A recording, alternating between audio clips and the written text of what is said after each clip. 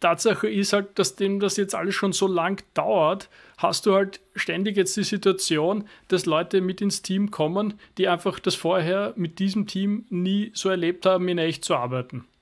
Und jetzt sind wir bald bei eineinhalb Jahre, glaube ich, sind schon vorbei. Naja, das ist schon deutlich vorbei. Ja, jetzt werden es ja. bald zwei. Ne?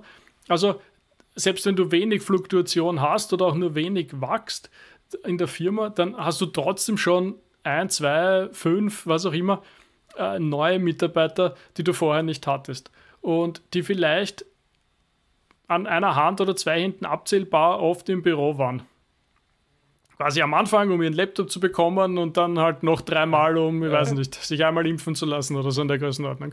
Ja, wobei, wo, wobei sie aber dort auch niemanden getroffen haben, sondern ja. eben nur diese organisatorischen Dinge gemacht haben. Also richtig, richtig. Ja. Und dann möchte ich noch einen Satz aufgreifen aus dem Artikel, den du schon so ausführlich erwähnt hast, dass dann drin stand, ja, ab und zu macht man sich dann neuerdings jetzt Termine aus im Office kommt dann dorthin, nur um drauf zu kommen, dass die anderen, die auch in dem Termin sind, zu Hause sind.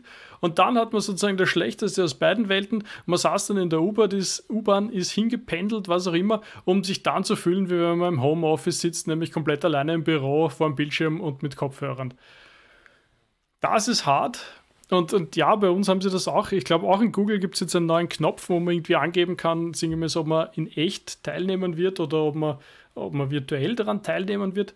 Ich kann es gar nicht genau sagen. Ich habe den Knopf, falls es ihn gibt, noch nie gedrückt.